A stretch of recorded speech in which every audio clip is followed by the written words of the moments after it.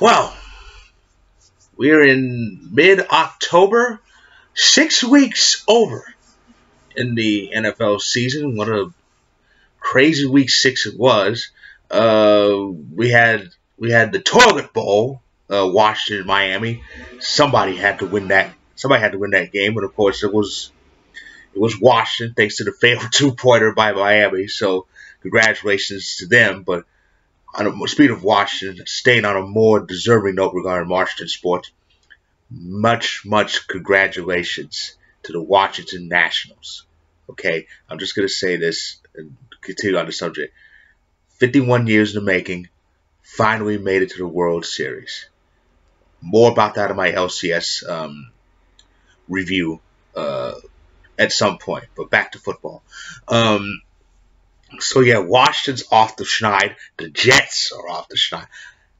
Oh my god, I can't believe Dallas lost that game. I don't think anybody could believe Dallas lost that game. I had Dallas just blowing the Jets out of the water. What the hell happened? Uh, I just don't get it. But um, it, makes for it makes for mediocre NFC East because Carson Wentz, in all his other inco- incompetency, managed to fuck up and lose to Minnesota. Wonderful. Thanks, Carson. How's it you can how's it you can win in Lambeau, but you lose at home to Detroit, and you somehow lose to a very bad Minnesota team. So now so now they're three and three. And guess what? They play each other this week. That's going to be interesting. Um, somebody's getting a winning record, unless this game ends tied. and, the, and here's the scary thought. The Giants, they're one game out. Washington, they're two games out. Ooh. If one of them wins the division, I'm not saying they are, but who knows what could happen. Scary. Um, but um, the week ended, of course, with Packers Lions in um, at Lambeau, and much like the last time we beat the Lions, we won a game that we never led. You know, it's something about the Lions. They lead the whole game and then lose like that in the last second.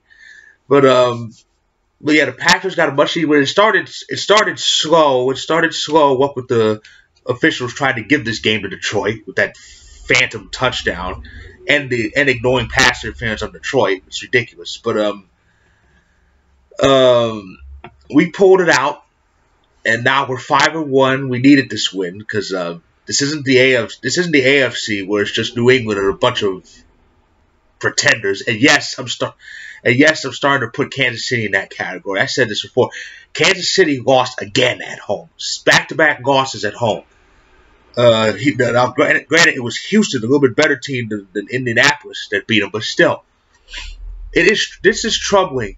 The team that is supposed to be the team that is supposed to, you know, kind of knock out, knock down New, England and take them down. They've lost back-to-back games at home, and it's not Mahomes' fault. He's doing his thing, but I said this before. If Kansas, if Kansas City is the team, the supposed team that's supposed to overtake New England, then we're screwed.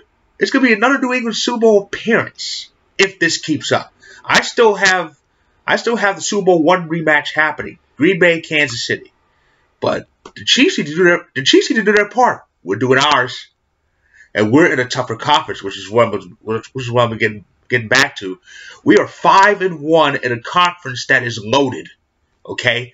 You got the, the Niners, they're still they're still to quote uh, future WWE Hall of Famer, on defeated. They are. And um, they're 5 and 0 after winning LA against a Rams team that has problems.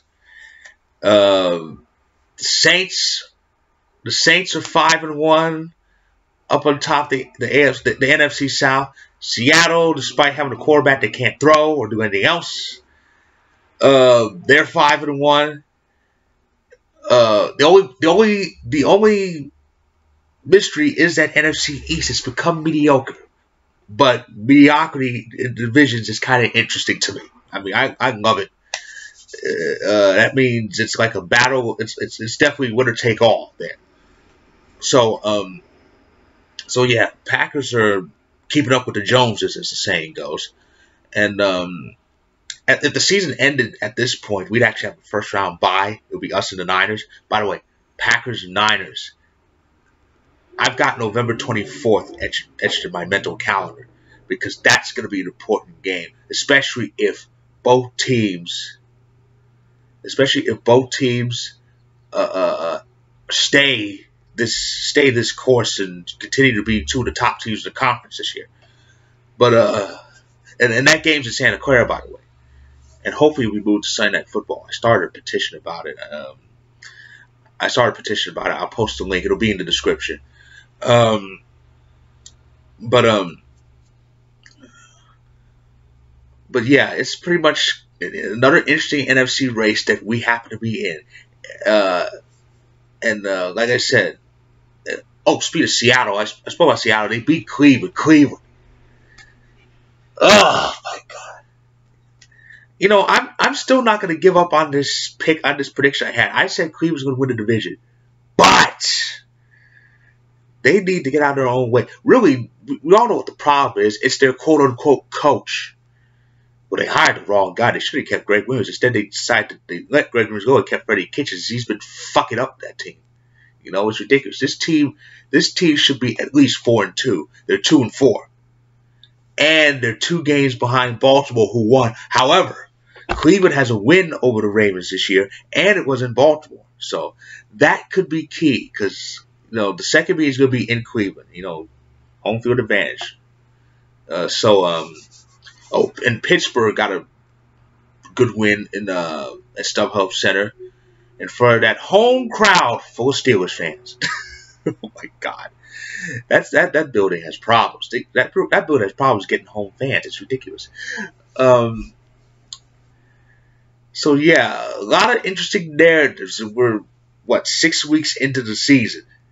Time certainly flies, flies. But um, anyway, so that's my brief review of uh, week six.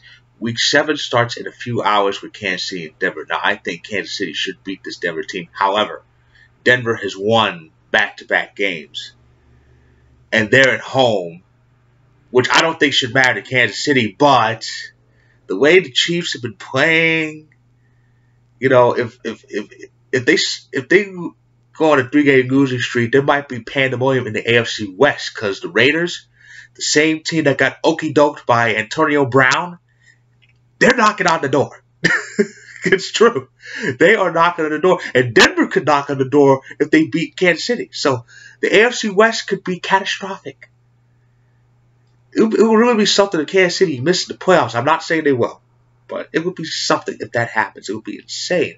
Twitter would just shut down. Pretty much like Tennessee's offense did on Sunday. Yeesh.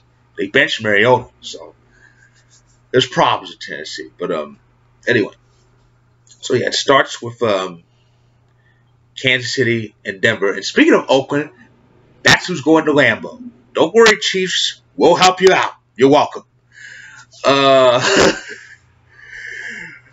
oh my goodness. Um, the undefeated Niners are in DC. Um, like I said, the Sunday night game is uh, Eagles Cowboys. That's at Jerry World. That's going to be a very interesting affair. I think Dallas should take them. If you can't beat Minnesota, you're not going to beat a good team like Dallas. and the Monday night game is Patriots Jets. Good grief it's sad. It's, it's sad that Monday night games cannot be flexed because this is going to be a bloodbath. It's going to be over after the first two drives. I mean, it's it, it, oh well. So so New England will skate to seven and zero, oh, obviously, but um, who knows? But it should be a very good week seven. Week seven, uh, as as the season heads into late October it's gonna be very it's gonna be very interesting. I just know it. I'm looking forward to it, and I know you are. So I'll just end this video by saying enjoy this crazy season, and good day to you.